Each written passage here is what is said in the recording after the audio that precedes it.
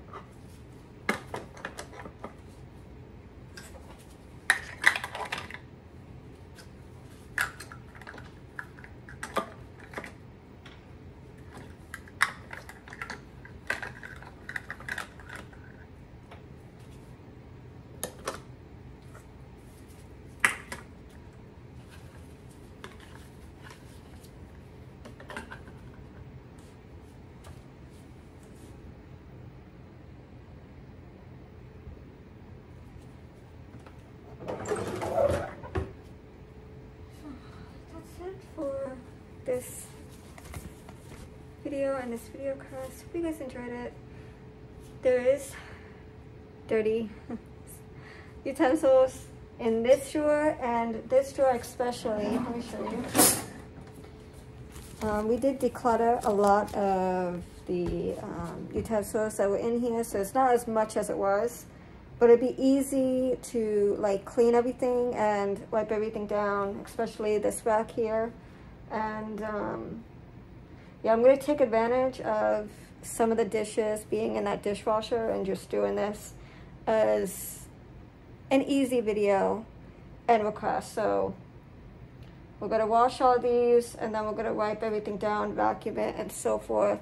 Um, and we're just doing it in one video because it's just, it's not gonna take much and um, it needs to be done. So um, that's it for this video. Hope you guys enjoyed it and I'll see you guys next one. Bye.